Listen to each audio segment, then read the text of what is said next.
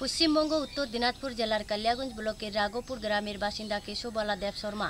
তিনি দীর্ঘদিন ধরে একটি ভাঙ্গা ঘরে বসবাস করেছেন। কিন্তু পঞ্চায়েত মেম্বারের কাছে বরাম্বর একটি প্রধানমন্ত্রী আবাস যোজনা ঘরের জন্য আবেদন করেও তিনি এখনও ঘর পাননি।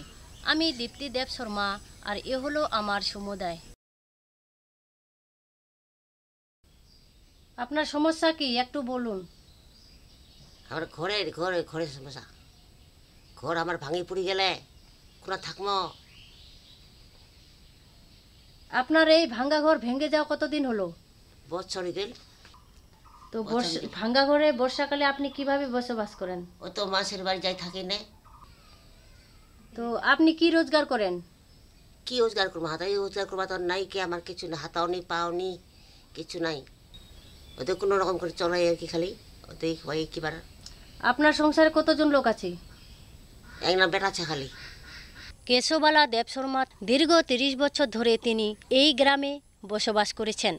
তার স্বামী মারা যাওয়ার পর তার ছেলে ও পুত্র বধূ তাকে সংসার থেকে আলাদা করে দেয়।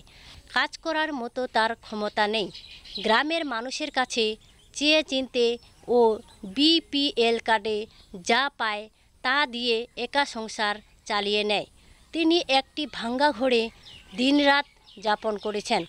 বর্ষাকালে চতুর্দিক দিয়ে জল পড়ে। এই ঘরের জন্য কি আপনি কোথাও আবেদন করেছেন?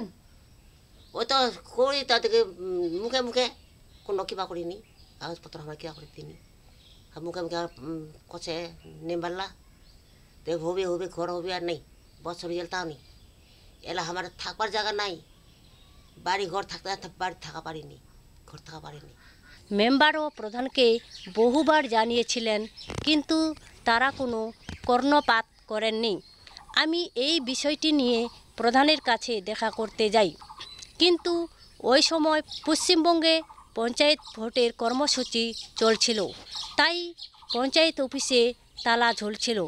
ভোট পর্ব মেটে গেলে আমি অবশ্যই এই বিষয়টি নিয়ে প্রধানের সাথে আলোচনা করব। তো আপনি কি চাচ্ছেন? তো কই ঘরে যাচ্ছি আমরা?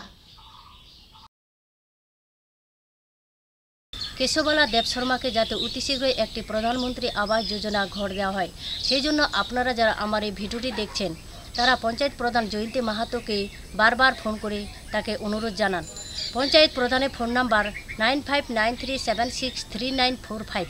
আমি দীপ্তি দেব শর্মা, পশ্চিমবঙ্গ, উত্তর দিনাজপুর জেলার ইন্ডিয়া আনহাটের পক্ষ থেকে।